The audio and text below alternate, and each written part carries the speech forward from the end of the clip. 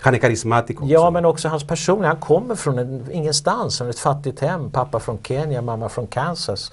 Han är uppvuxen i skilsmässobarn, han är delvis uppvuxen i Indonesien. Ja. Han har mellannamnet Hussein. Men han är eh, på det sättet en, en, en, en, levande illustration då till den amerikanska myten eller drömmen om att vem som mm. helst mm. kan bli president. Det var bara för eh, kanske 44 år som Martin Luther King också var där och eh, gjorde den berömda tal, Martin Luther King. Ja just det. Mm. Men han blev inte president, han blev mördad. Nej, nej, nej, i alla fall. Ja. I alla fall, det han drömmen ja. till. Jag har sett det förlovade landet precis, och jag har en precis. dröm. Precis. Och på det viset är, är det här valet och den här tillträdet enormt laddat med symbolik. Mm. Och det är klart att eh, med en så stark symbolisk handling, dels efterträda den är extremt impopulär president mm. och dels vara eh, förkroppsligandet av den amerikanska drömmen för så många.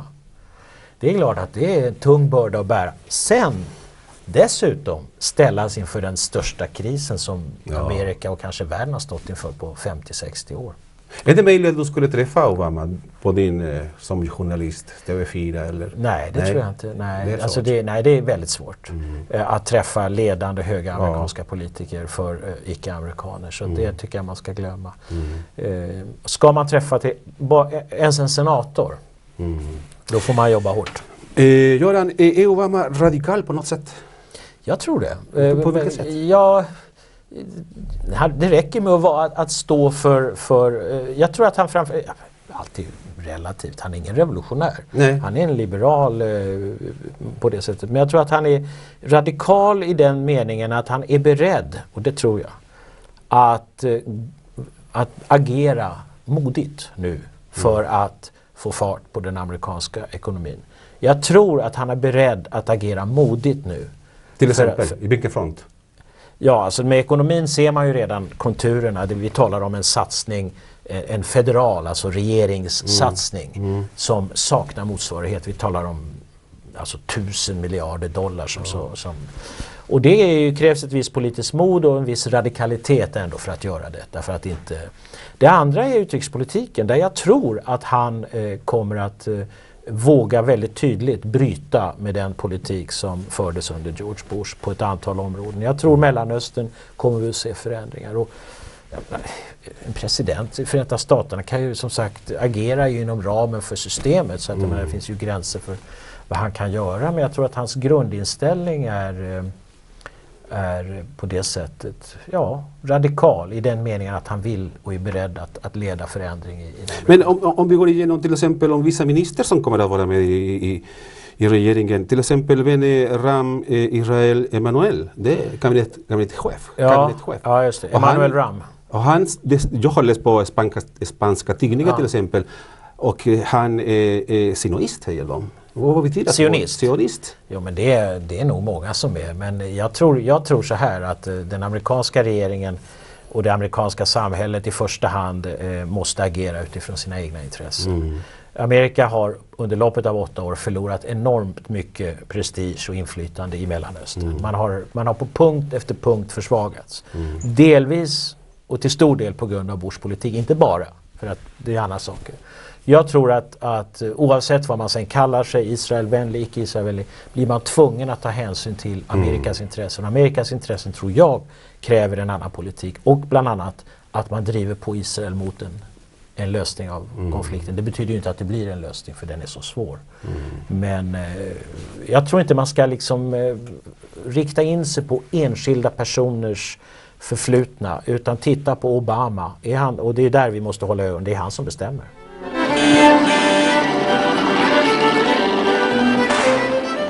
Det är nästan jag ville fråga därför att i USA eh, det finns olika, makten är delad. Säkerhet, mm. eh, militär, eh, ekonomi, eh, staten. Hur, hur, mycket kan, hur mycket Obama kan göra i praktiken? Han, kanske han vill göra men det går inte. Nej, men så här är det. Eh, makten är delad, det är ett maktdelningssystem. Mm. Den är delad med den som kallas den verkställande makten, alltså det är presidenten, ja. regeringen. De har förslagsrätt, det är de som, som kan komma med alla förslag och idéer. Och eh, också i utrikespolitiken oerhört stor, stort inflytande. Han tillsätter ju alla cheferna i underrättelsetjänsten och allt. De måste godkännas av senaten. I princip är den exekutiva makten väldigt stor. Sen har du den lagstiftande makten, det är kongressen, senaten och representanthuset. De måste godkänna alla pengarna. Kan- och, lag, och lagarna så att säga. Så att du kan inte gå förbi dem om du ska spendera en biljon dollar eller om du ska stifta en lag om det ena eller det andra. Och sen finns högsta domstolen som kan säga att den här lagen är inte förenlig med konstitutionen så den kan vi inte ha. Väldigt mäktig. Nio personer på livstid tillsatta. Och där är ju hans stora möjlighet att han tillsätter ju de här. De tillsätts när de, det kommer nya när de gamla dör eller avgår. Så han har en viss utrymme för att eh, bestämma. Ja, ja absolut. Och nu har han det. Det är nu han har sitt stora... Alltså nu är hans popularitet som störst, hans auktoritet är som störst, han är ofläckad av skandaler. Han kan nu inom loppet av eh, ett halvår, ett år kanske, eh, sätta sin agenda och är han skicklig så kan han få igenom väldigt mycket. Men han måste vara skicklig också, det är ett maktspel som pågår. Ja. Han måste vara duktig. Vi får se. Jag menar, alla de här... Det, eh, men han har ju redan, när vi spelar in det här, har han ju redan eh, frusit de här rättegångarna på Guantanamo. Guantanamo gjorde det. Mm. Och han har aviserat stängningen av Guantanamo. Och, och det har varit väldigt tydligt att hela det här med tortyr är eh, som, som den tidigare administrationen på med. Det är en markering i Det är en väldigt tydlig markering. Så att jag tror att, att, vi får, att det kommer att märkas att det är en ny president. Blockad mot, mot Kuba till exempel, det, det går att eh, sluta någon gång med. Ja, jag hoppas han gör det. Skulle Om han gör det, tror du, jag tror att det, det blir en, radikal eh, president. jag, tror han, jag tror han kommer att... Jag, jag, jag vågar jag verkligen säga saker jag inte vet. Jag tror att alltså, den är helt kontraproduktiv. Den är helt vansinnig den här blockaden. Mm. Och det är, tror jag många inom det amer- amerikanska eh, utrikesetablissemanget tycker. Vad som problemet med det här är ju naturligtvis att där finns en, en stark påtryckargrupp eh, Mm. i, i, i Amerika. Alltså eh, Kuba-amerikanerna eller Amerika-kubanerna. Mm. Så att det har funnits en inrikespolitisk dimension till det här med Kuba. Men med Castro liksom ändå på väg ut och, och allting under förändring. Kanske han finns inte redan. Nej, så jag tror, vi kan, vi kan göra ett val där Viktor. Jag tror att blockaden kommer att brytas. Eh, Göran, det finns otroligt många eh, frågor som Obama måste eh, eh, göra. Men jag tycker att Iran till exempel, kommer Obama att föra någon annan politik mot Iran? Och eh, om de får eh, fram kärnvapen, måste ses som ett stort hot, bland annat mot Israel.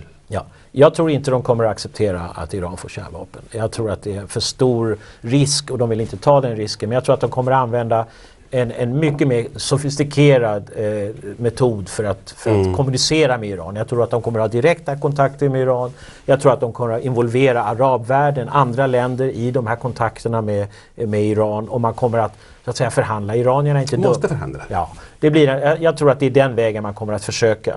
Och jag tror också att, eh, att eh, det iranska samhället är inte ett, ett solid, det är inte ett homogent samhälle. Det finns konflikter, det finns olika uppfattningar. Men det finns konflikter som ser inte så mycket i alla fall.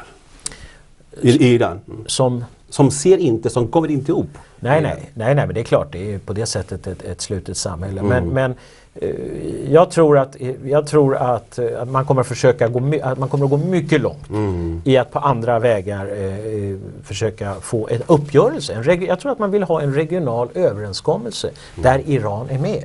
Ja. Där i- man tar också hänsyn till Irans intressen, Irans styrka, Irans storlek. Men iranierna har ett problem nu. Oljan är ju nere, vad kostar 50 dollar någonting. Så de har inte så mycket pengar. Ekonomin är ganska misskött. Det finns rätt stort missnöje. Så att jag, jag är emot att man betraktar saker och ting som en gång för alla givna. Jag tror inte heller det iranska, den iranska regimen nu kommer att, kommer att vara precis likadan.